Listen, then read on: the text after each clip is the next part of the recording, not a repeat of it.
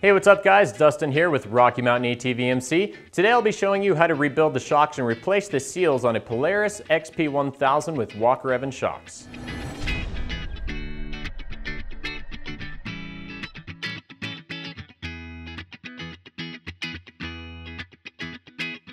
Okay, so today I'll be showing you how to replace the shock seals, O-rings, and shock oil on a 2014 Polaris RZR XP1000 with Walker Evans shocks. Now, if you're putting down a ton of miles and usage on your machine, your shock oil is going to wear out and it will need to be replaced along with all the associated components. Now, Polaris recommends that you need to change out your shock oil at about every 1500 miles depending upon usage. Now, if your machine is subjected to a ton of abuse and a lot of miles, you may want to change out that shock oil a little earlier, say at about around a thousand miles of use.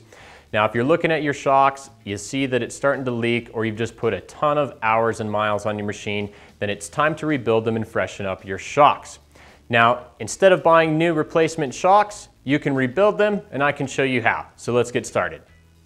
To complete this service, we'll be using the Polaris Walker Evans Seal Kit. It comes complete with everything that you need and you can find it on our website at RockyMountainATVMC.com. Okay, so we've just removed our shock from the machine. We've got it up here on the bench. The first thing we want to do is take and place it into our vise with soft jaws. Okay, so once you've had your shock mounted in the vise, the first thing we need to do is take a measurement of the springs preload. So we'll take and place our tape at the top of the springs preload adjuster and we'll measure to the top of where the threads end on the shock body. So here it looks like we're sitting at about one and seven eighths of an inch. So we'll write down that measurement. First, we need to clean off our threads. To do that, we'll be using some compressed air. Make sure to have some safety glasses and some contact cleaner, and then give them a little bit of lube. Then we take our spanner wrench here that should come stock with your machine, and we'll remove the preload. Okay, so we've got the nut backed off as far as it will go, and we still don't have enough room to pull off of our, our springs retainer. Now, on this particular shock, we've done a spring swap kit. So this tender spring is actually off of a four-seater, so it makes this more difficult to remove. For this, we're gonna be using the spring compressors. This will allow us to compress the spring so we can achieve enough distance to remove the spring's retainer. Now, if your machine at home doesn't have a spring swap kit on it, you should have enough clearance and ability to, to pull back on the springs like so, slide your bump stop up out of the way, and pull the retainer free. All right, so now that we've got our shock cleaned up pretty good, we're gonna reposition it in our vise. Now, the first thing we need to do is relieve the pressure that's inside of the reservoir here. So there's about 125 PSI built up in here. So make sure to have your safety glasses on and it may dispel some fluid too. And then just to be certain, we'll take our Schrader valve remover tool. We'll pull out the Schrader valve. And to be certain that all the pressure's been removed, you can press on the, the seal head here of the reservoir just to make sure all of that pressure's gone. So now we can take our snap ring pliers, we'll place them into the reservoir here at the base of it. Get these pulled out of here. And then we can pull out the seal. So now that we've got this apart, we can remove the seal head on the shock's body. All right, so once you've got that unthreaded, pull this up. You may want to take a rag and wrap it around the shock body. It will lose some oil. Now we can pull this out of our vise here, empty it into the drain pan. Inside of our reservoir here, we have what's called the IFP. It's an internal floating piston. We'll need to pull this out and to do that we'll need this IFP tool. Now this tool is absolutely necessary in order to do this job and you can find it on our website at RockyMountainATVMC.com. We thread on the tool and slowly work out the IFP. So now I'm going to take the shock body, I'm going to let it hang right side up just so that all of the oil can drain. Let it drain for about 20 minutes. So this is our seal head itself right here. Then we've got our spacer and then our valving. So we need to remove all this assembly so that we can get to the seals that are inside of our shock seal head. To do that, we're gonna need an 11 32nd socket, excuse me, 11 16ths. We'll need to crack this free. So we'll take our pick tool, we'll set it over our shim stack. So I like to keep all the shims located onto the pick here like this. Then that way it helps you keep track. Just don't forget the orientation. The next part is getting this spacer removed. It's really difficult to pull off. You may need to take a hammer and just kind of lightly tap on each side evenly. There it comes, just like that. Now we can take off our seal head. Okay, on the inside of here, we've got a wiper, an oil seal, and an O-ring. All three of those will need to be replaced. So we'll take our pick tool and work the seal out. That's our wiper. Next is our seal. And lastly, inside of there, we have an O-ring. Okay, so now that we've got those pulled out, we'll get this cleaned up and ready for new seals. Before we do that, the last O-ring that we'll be pulling off here is the seal head O-ring itself. Okay, so now that we've got our shocks seal head nice and clean, we're ready for some new seals. Before we get our new seals installed, should probably crack open our bottle of shock fluid here and lube up our O-ring. We'll get this installed on our seal head. All right, so we're gonna take a little bit of shock oil here on our fingers. We're gonna lube up our O-ring, oil seal, and wiper seal. Then we'll start with the O-ring. Once you've got the O-ring installed, we can then move forward with the oil seal. Now, between the oil seal and the wiper, there is a difference. The wiper is a lot more stiffer than the oil seal. The oil seal is gonna be a lot softer. Now, to orient the seal, here's our seal head, right? This is the bottom side of it. We wanna make sure that the lip of the seal is facing downwards towards the ground. So you can tell that by the back side of the seal here is gonna have a recessed end on it, and the front side that'll be facing the ground is going to have that lip that protrudes from its body. So, so we'll get our oil seal installed. And lastly, we'll install the wiper. Now the wiper may be a little bit difficult, so just work at it. Now once you get the seals inside of there, take your finger, run it along the inside diameter of the seals to make sure that there's no bulging and that they have been seated properly. Now we are ready to install the seal head. Before we do that, you're definitely gonna need one of these. This is our, our seal bullet. This will be placed over the shock shaft so that we can slide our seal head on there without compromising the seals. So we'll take and place this over the threads. Our shocks, bodies, seals are, excuse me, seal heads, seals are nice and lubed. Get it started, and then we're just gonna real, real quickly get it set like that. We can pull seal bullet off, start with reassembling our spacer. Again, the recessed side facing down, and then we can take our shim stack and work it into place. Now we're going to torque this nut to 29 foot-pounds. Now we need to take and replace the O-rings on our IFP and our reservoir's seal.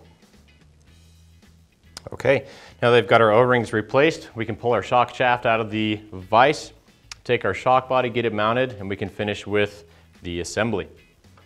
Okay, now before we add fluid, we need to take our rebound, excuse me, our compression adjuster here, and we need to back it out so it's full soft. Count the clicks and write them down on a piece of paper. We'll take our shock fluid here. We're gonna fill up our reservoir. Now we'll equalize from either side. So we'll add a little bit to each side. And we only want the fluid to be sitting about halfway here, maybe just a little more than half. Okay, so once we get our oil height to about there and it's equalized, it's gonna stay in that position, we can take our IFP We'll take our 3 32nds Allen wrench and we'll pull out the bleed screw. Now there is an O-ring that comes along with it, so you make, make sure to retrieve that. Now another wear item on the IFP is this wear band right here. Give it a good inspection, make sure it doesn't have any pitting, any aluminum embedded inside of it, or just significant wear that you can see. If it does, make sure to get this replaced. Then we'll take our IFP, set it into our shock body here, excuse me, shock reservoir, and we will lightly set it. Now as we begin to press this in here, you may experience some fluid shooting up through the center of it, so try to set it nice and slowly. Okay, now you want to have the IFP set so it's just below the fluid, so you can see some fluid on top. Now we're going to take our IFP screw, we're going to set it. Once that's set into place, we'll take our IFP tool, thread it onto the IFP. So once we have our tool secured to the IFP, we need to stroke this to push out any air bubbles that might be sitting in this area of the shock. So we're going to stroke it, send it all the way down to the bottom of the reservoir as far as it will go. You'll hear the air bubbles come out of the shock body, and then we'll raise it up about an inch or so, then bottom it out again. All right, so we'll pull the IFP up till it's about an inch from the edge of our reservoir here. Now as you're pulling this up, make sure to keep an eye on your shock body side. You don't want it to suck any air back through to this other, other side here. Now we'll take our shock oil We're gonna fill up the reservoir till we're about, let's say, to the bottom of the threads here that are inside of the shock's body. Maybe a little higher than that. Okay, so once we have enough oil set into our shock body, we're gonna take the shock shaft here. We'll place it into the shock body. Now again, inspect your valving here, check your wear band, make sure it doesn't have any excess wear, any aluminum embedded into it, and so forth. Be real gentle when setting this in there. You are gonna lose some fluid. It will overflow. So once we have the shock shaft set in here to about a half inch from the top, we need to stroke it a couple of times. So we'll set this in about an inch and then pull it back up. Always remember to maintain about a quarter an inch of distance between this, the valving and the shock fluid. So we'll do this just nice and slow, just a few times. Try to purge out any air bubbles. And for this last part, we're gonna take our mallet, we're gonna strike the eyelet here. We'll just do maybe one or two quick, swift blows, nothing real hard, just enough to shock that valve to purge out any air bubbles that may be inside. Now, if we do this too hard, we run the risk of blowing out our IFP valve because there's nothing in there holding it in place. So be real careful when doing this. Now we'll bring our valving up till it's about a quarter inch from the top. We're gonna bring the seal head down now once the threads meet the body, bring the shock shaft itself up to greet the seal's head. And you're gonna lose some oil. The whole point of this part is to not suck in any air. Now Polaris doesn't give us a torque spec for the seal head here. So we're just gonna make sure it's nice, tight, and snug. Now this last part is we're gonna be setting our IFP valve to a depth of 2.875 inches. So you'll need a depth gauge here we have some calipers. I have them preset to our depth. Now we'll remove the IFP bleed screw. And before you remove the screw completely, make sure that you have some oil that's sitting above it, just so that way it doesn't suck in any air. Okay, remember the O-ring that comes with the bleed screw? All right, now we're gonna take and set this to a depth of 2.875. All right, looks like we've got quite a ways to go. Now, the measurement that this part of the tool is touching is just gonna be the top outside edge of the IFP. So once you've reached that depth, we need to reinstall the IFP bleed screw. Now, it's pretty difficult with your Allen wrench to get this to stick on there. It may drop. So to ensure that we don't lose this inside of there and have to fish it out later, I'm gonna take just a small dab of grease. I'm gonna set it over the IFP's bleed screws tool hole there, the Allen hole. And then I've went ahead and rigged up this little guy. I'm sure there's something better out there, but this is what I've got to use. So I've got a drill, a bit adapter, and the 3 seconds bit. I've got this assembly put together. I'm gonna take and place my tool into where I've blobbed the grease, make sure it's nice and sealed. Now I definitely won't lose my IFP bleed screw. I'm gonna take and set this inside. So once we are to that point, we can take our shock body out of the vise, we'll pour out the excess oil, and then the next step will be setting the reservoir's cap. Okay, so we've got our shock body back up into our vise. We've got our reservoir cap here, newly replaced O-ring. It's nice and lubed up. We'll go ahead and set this guy. We can take our snap ring pliers on our snap ring. So now we're to this point. We can take our Schrader valve and our Schrader valve tool and set it. At this point, we're gonna take it over to our nitrogen tank. We'll fill it with 125 PSI, and then we'll bring it back over here and get the springs installed. Now at this point, I'm gonna take and set this back to our original settings. Okay, so now that we've got our shock placed back into our vise with soft jaws, we can remount our springs. So we're gonna start with our top spring or tender spring, then our spring divider, and lastly, the bottom spring.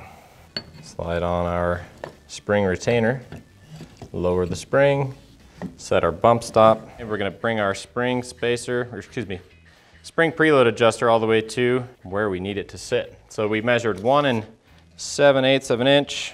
It looks like we're sitting about one and three eighths, so we'll just have a little bit of work to do. All right, now these spring dividers here, they've got arrows on both sides of them. These don't just indicate the direction that the divider should be facing, the long side, but it also indicates where the spring coil ends should line up. So on our top spring, coil end will end here, and then for our bottom, we'll have it end where the coil ends on the bottom spring. Okay, we've got those set. Now, for the base here, our spring retainer needs to face 180 degrees from where our spring coil ends, and it looks like we're actually already there. So as far as indexing everything, get every, getting it all into the right uh, spot, we're looking pretty good. So now we can take, remove our spring compressors. All right, got our spring compressors off. We were not far enough on our adjustment yet, so we can either rotate our spring assembly. Seems to be a lot easier than using the spanner wrench. Cool, looks like we're right at one and seven eighths inches. So that's how we rebuild the front shock and replace the seals. So now we can move on to the rear. Make sure to check out part two of this series where we show you how to rebuild the rear shock.